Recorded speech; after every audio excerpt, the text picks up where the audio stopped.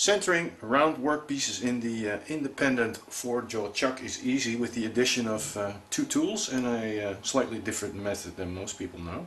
First of all, I've made a dedicated indicator holder that keeps the plunger at center height at all times. And I cloned my original chuck key and I made a baby clone. First, let's roughly align the workpiece in a four jaw chuck by eye using these uh, circles as a reference. It immediately becomes obvious why this one is handy because I can work at the same time.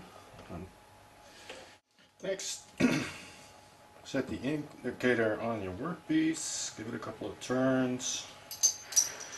Now find your lowest reading. It's there, zero the indicator. Turn until you find the highest reading.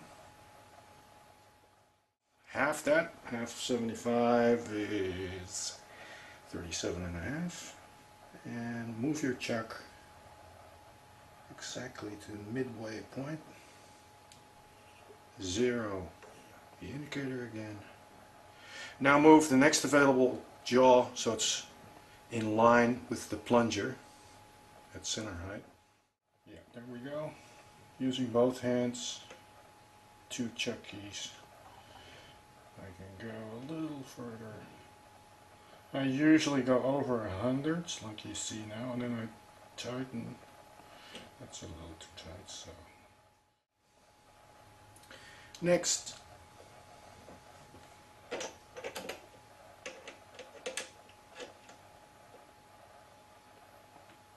There we go again.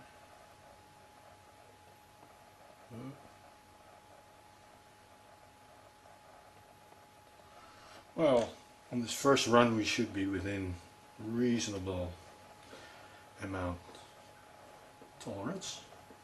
For a first try, that's pretty good.